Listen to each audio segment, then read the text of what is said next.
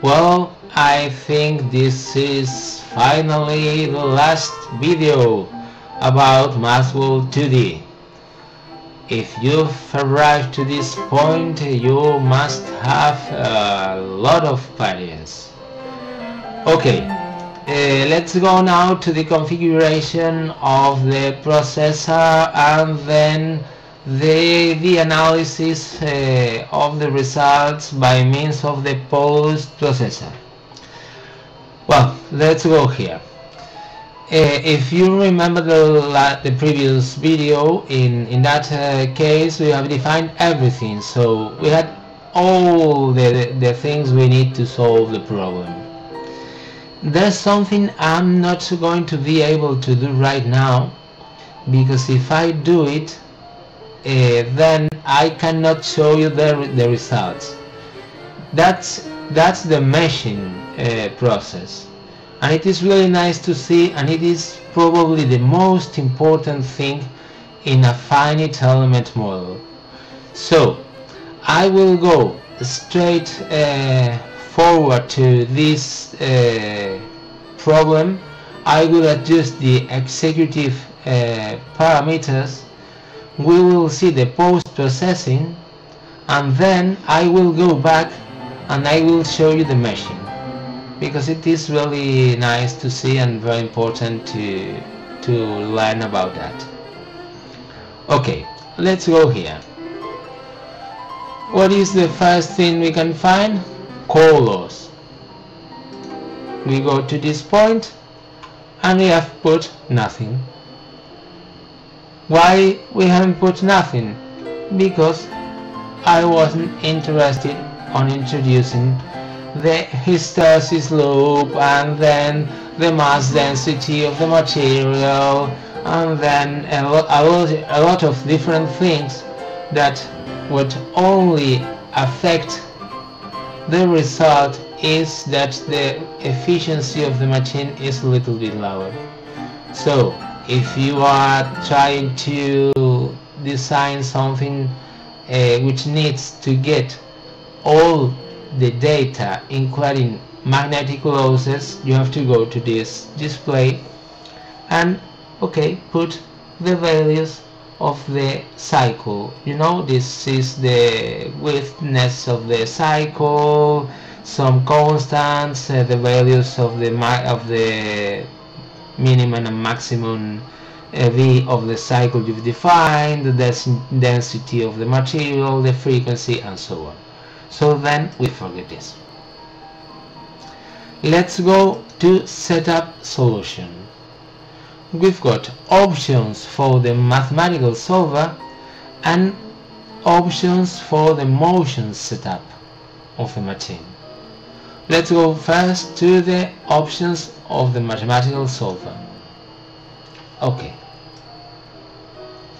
As you can see, first thing that appears here is the mesh.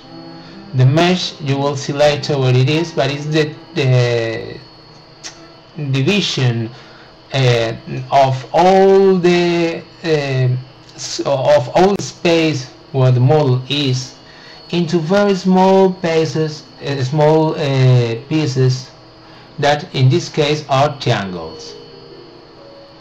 If I press manual mesh then the actual the present mesh is deleted. And if it is deleted I lose also the result. So I'm not going to do it. We will see that later. Okay. We have selected transient analysis I'm not going to get into other possibility into other possibilities but you can select AC analysis, DC analysis, uh, magnetostatic analysis, and a lot of different things. The, this is uh, this is quite clear in in the in the help of, of, of the pro of the pro, so it doesn't worth uh, to waste time on on that. Moreover, uh, for most of the cases you will need a transient analysis, analysis unfortunately because this is the slowest of all the, of all the analysis because you have to take into account motion. You can select a fixed time step for the simulation or an adaptive time step. Adaptive time step means that the algorithm of solution of all this, the huge amount of differential equations you've got decides when it can take a longer step and when it needs a shorter step. This option reduces the time of simulation. Of course it can be a, a constant value or you can even define a function to change the evolution of the time step during time. The most normal thing is to use an after time step. The tolerance, the initial time step, the maximum and the minimum are things you must define depending on, on the time simulation lasts. Obviously, the shortest time step, the shortest maximum step, the shortest minimum step make a better simulation. But of course, too, it creates a simulation that sometimes may last one year.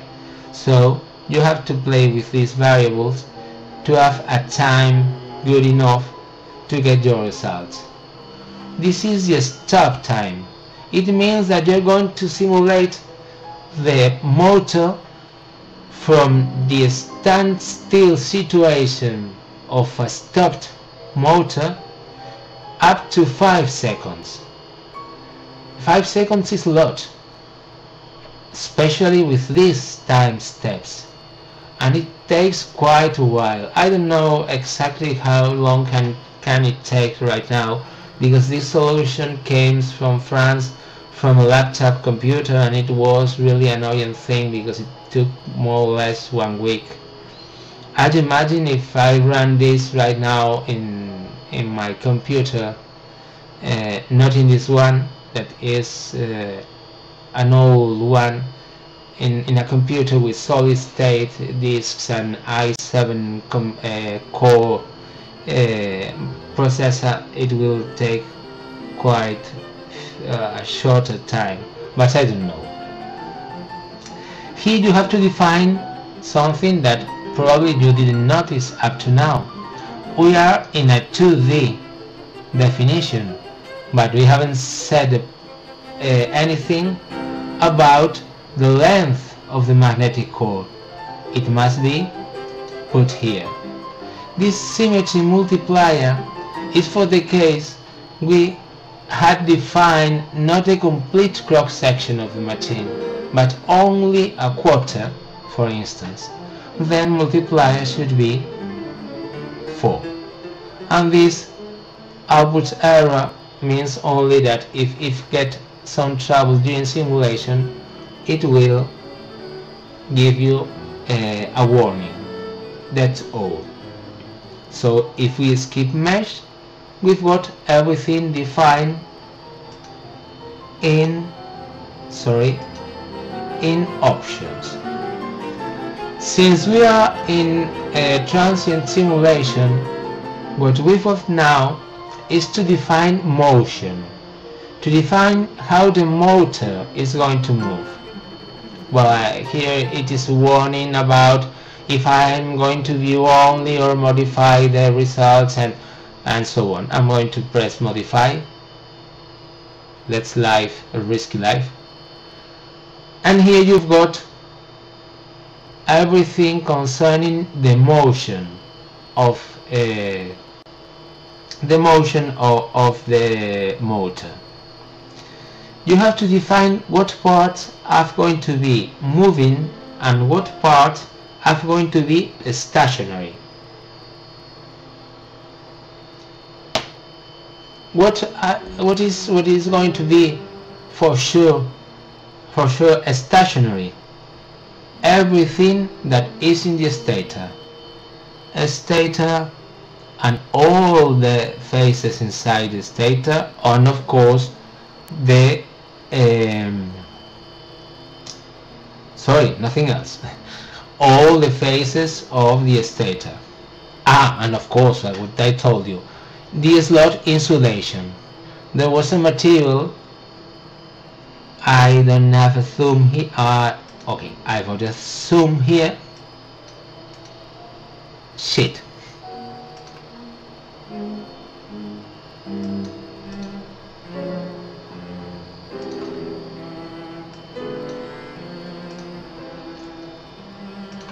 let's go to one slot.